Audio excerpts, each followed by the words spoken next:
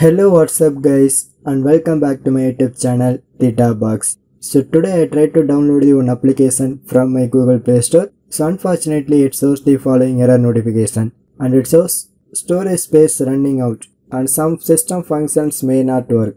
So how to fix this kind of error messages in your Android mobile? And this is my Redmi 5A Android mobile. So if you are a Redmi user you can follow my tutorial and it works almost all Redmi mobiles. So why this error notification is occurring? Because your internal storage may be reached its maximum of capacity. So only way to fix the error is you can change your storage location to your external SD card and also you can clear your internal storage cached data. So how to do it? So first of all you can close this error notification and then just open your Android mobile settings and in the settings section you can go to storage settings so you can scroll down then click to open it. So and here you can see so it starts to calculating my internal storage space and external storage spaces. So you can wait for some time. So finally the calculating process is completed. So now in this section you can go to storage settings and the last one then click to open it then it shows some options. So here you can select all the location to your SD card. So first I try to open the camera settings and then select external storage. So same way you can do all the settings.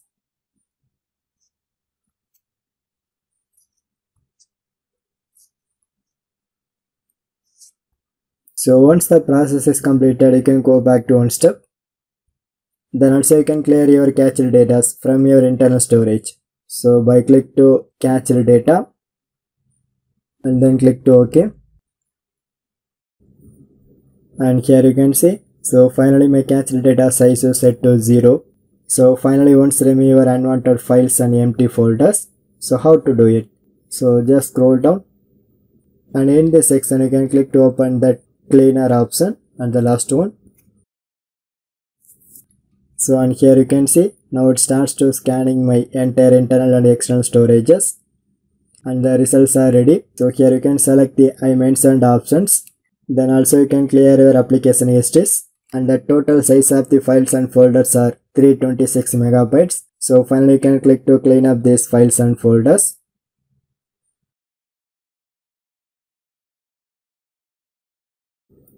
So finally my unwanted files and empty folders are removed successfully so due to this cleanup process, my internal storage space is increased. So once the process is completed, you can close all the settings. So finally once again restart your Android mobile.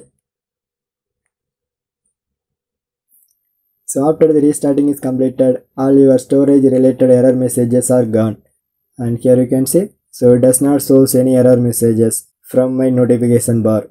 So this is the way you can easily fix the storage space running out error in your Android mobile. For more videos, you can subscribe my channel Theta Box and thanks for watching.